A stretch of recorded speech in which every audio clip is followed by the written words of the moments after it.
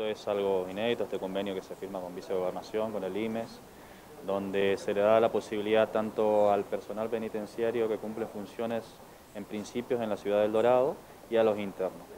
Por el momento tenemos 15 internos inscriptos y 9 personal, que van a hacer todo, por teniendo en cuenta la pandemia, por todo en forma virtual. Después ya va a ser en forma presencial una vez que se levante la cuarentena, tres veces por semana con docentes de, fuera y personal de la casa que también dictará clase. Es importante que el gobierno provincial le dé apoyo. Sí, la verdad que sí, la verdad que eh, la vicegobernación, importantísimo el apoyo de esto, es la primera que se hace eh, en esta característica, firmando un convenio con el IMES, usando todas las herramientas tecnológicas también del IMES para, para poder en este tiempo de pandemia trabajar y que, que los internos y el personal puedan, puedan empezar sus estudios. Grandes rasgos, el plan de estudio, ¿qué incluye? Mira, esta es una carrera de técnico superior administrativo contable, ¿sí?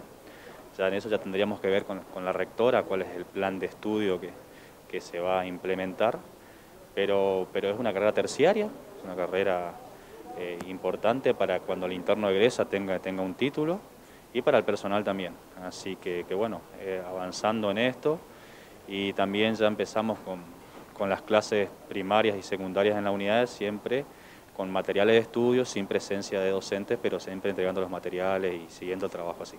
En la búsqueda de jerarquizar, ¿no? Para que deje el servicio penitenciario ser solamente una salida laboral. La verdad que sí, estamos trabajando fuerte, la idea era trabajar mucho en, temas justamente de talleres, de buscar herramientas, convenios con los municipios para que los internos puedan realizar algún tipo de talleres. Bueno, el tema de la pandemia se paró, pero la idea sí es fortalecer eso y que el interno salga capacitado para el día que egresa en libertad. Muchos elogios hubo de la inauguración del otro día del, Centro Inimputable. Sí, la verdad que nosotros, eso es algo importantísimo para, para el servicio penitenciario, eso fue del año 2017 por un proyecto del ingeniero Rovira, que estaba bueno, impulsado por nuestro ministro de Gobierno, eh, Rita Núñez, la ministra Picasso, que tuvo un importante trabajo, y la verdad que sí, esto también nos lleva a través de la misión a ser vanguardia en esto, es la, única en el país con este, esta eh, metodología, donde salud pública se va a hacer cargo de la parte eh, de salud, la parte psiquiatra de estos internos que realmente merecen un tratamiento individualizado por la situación en la cual eh, se encuentran detenidos. ¿no? Es especial ahora la, tratar con la población carcelaria ante esta situación de cuarentena. La verdad que se trabajó muy bien en el servicio penitenciario. Hoy justamente a las 15 horas va a haber una conferencia internacional donde Misiones, eh, con cuatro, cuatro, representantes más del país de, servicios penitenciarios, vamos a exponer a nivel internacional todo lo que, cómo se trabajó en, contexto de cierre con, con la pandemia, con el COVID. Eh, misiones otra vez, vuelve a ser vanguardia en esto, se trabajó muy bien.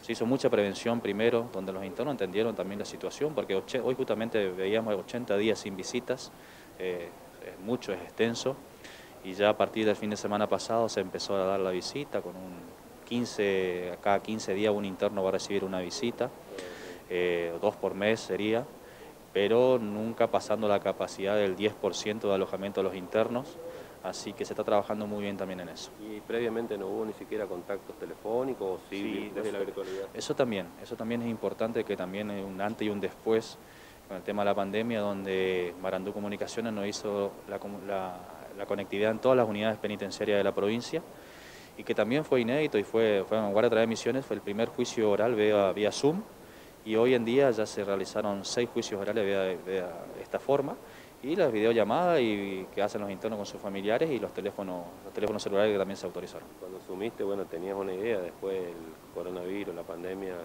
eh, modificó todo aunque no dejaron de hacer cosas. Sí, se sigue trabajando fuerte. Nosotros teníamos una idea de, como te decía, de algunas, algunos trabajos que se trataba, intentaba hacer afuera, eh, convenios y demás, pero bueno, tuvimos que dedicarnos más a la seguridad y a la profilaxis.